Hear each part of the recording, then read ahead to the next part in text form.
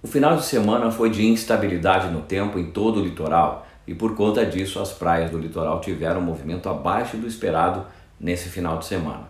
Possivelmente pelas condições do tempo, porque havia um alerta da Defesa Civil para um temporal com granizo, mas isso acabou não ocorrendo. Na praia do Remanso, em Xangri-Lá, um adolescente de 17 anos precisou ser resgatado do mar com a ajuda de um helicóptero do Corpo de Bombeiros. O jovem havia se afastado muito da costa e não conseguiu mais retornar e rapidamente os salva-vidas entraram em ação e conseguiram retirar o menino da água são e salvo. Ainda bem que esse salvamento acabou bem.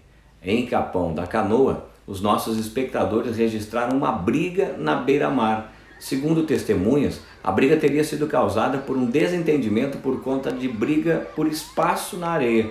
A brigada precisou ser chamada para conter os excessos, porque havia muitas pessoas alteradas por conta da bebida alcoólica.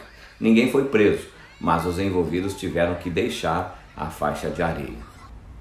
E apesar do movimento ter sido menor que o esperado no final de semana, quem veio para a praia acabou antecipando o retorno no final da tarde de ontem e acabou pegando um pouco de lentidão na RS 030 em Osório não houve nenhum registro de acidente, segundo informações da Polícia Rodoviária Estadual. E o Supremo Tribunal Federal concedeu uma liminar para suspender a lei estadual do Rio Grande do Sul que proíbe a pesca de arrasto até 12 milhas de distância da costa gaúcha. Ou seja, no apagar das luzes do ano de 2020, o então recém-chegado ao STF, o ministro Cássio Nunes Marques, resolveu liberar a pesca com uso de arrasto em alto mar na altura da costa aqui do estado do Rio Grande do Sul. Essa decisão atende uma ação direta de inconstitucionalidade do Partido Liberal, o PL, para sustar efeitos da Lei 15.223, que instituiu a política estadual do desenvolvimento sustentável da pesca em todo o estado, no que diz respeito à pesca de arrasto. O PL alega que a legislação estadual é inconstitucional pois a União detém competência para legislar sobre a área marítima. A lei havia sido aprovada em 2018 na Assembleia Legislativa do Estado. E em 2019, o então ministro Celso de Mello havia negado o pedido. O partido então formulou um pedido de reconsideração, analisando, analisado agora por Nunes Marques, que ocupou a vaga de Mello no final do ano passado. A Procuradoria-Geral do Estado diz que avalia a possibilidade de recurso. No entanto, esse assunto possui muitas discussões. Segundo os ambientalistas e uma parte dos pescadores, o arrasto destruiu o nosso litoral. Os peixes sumiram e muitos pescadores, donos de barcos, foram à falência. Então não restou alternativa senão proibir a prática na esperança da recuperação do estoque pesqueiro. A principal disposição da medida gaúcha foi afastar o arrasto de fundo para além das 12 milhas náuticas da costa, ou seja, um pouco mais de 35 quilômetros, reduzindo o impacto da pesca sobre o ambiente e sobre a vida marinha na faixa litorânea.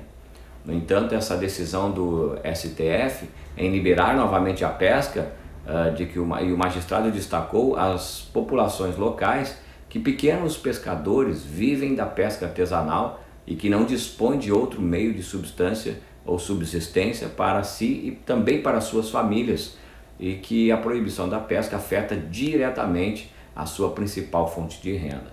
O que sou estranho, já que a pesca nunca foi proibida, e sim o emprego de métodos predatórios como arrasto de fundo que causa dano, e aí os ambientalistas acabam também é, entrando nesse dilema.